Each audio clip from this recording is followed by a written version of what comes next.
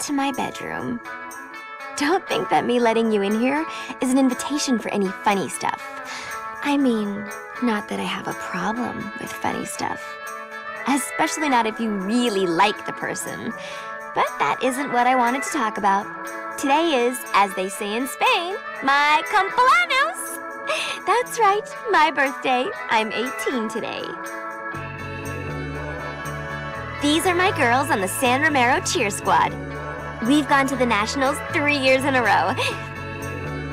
But we haven't won yet. Ugh. To keep my energy up, I eat lollipops. I know what you're thinking. I'm getting so fat, but they're so yum. This is my family. My older sister Cordelia won a gold medal in riflery last year, and she has a lot of secret meetings with guys I think are college scouts.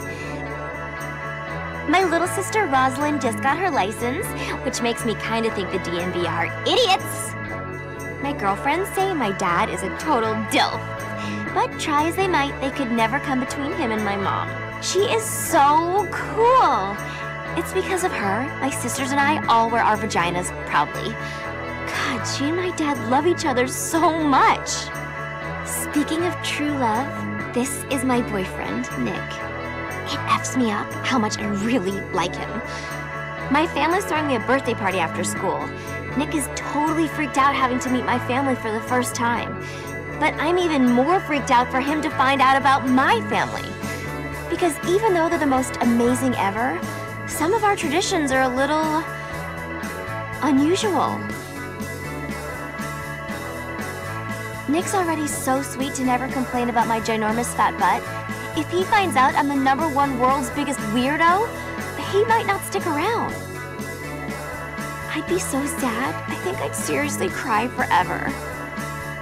Oh no! I'm totally late! I was supposed to meet him before school! I'm so lame. Ugh! I hope Nick isn't mad. That's about the worst thing that could ever happen!